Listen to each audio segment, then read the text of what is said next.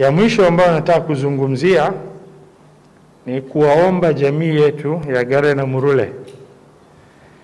Hii shida imekuwa imeendelea kwa muda mpaka imeleta tuhumu ambayo imezidi uh, raia na kufikia kwa viongozi.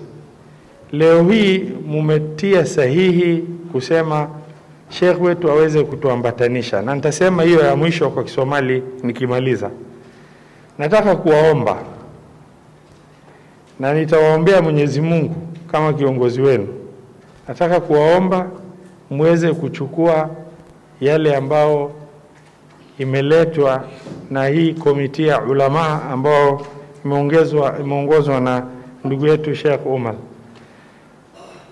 Hata kama unafikiria haijakufaa ama upande moja kidogo imekufinya ama upande moja kidogo imekufinya, mkiweka nia mzuri, Mwenyezi Mungu atawawekea baraka zaidi.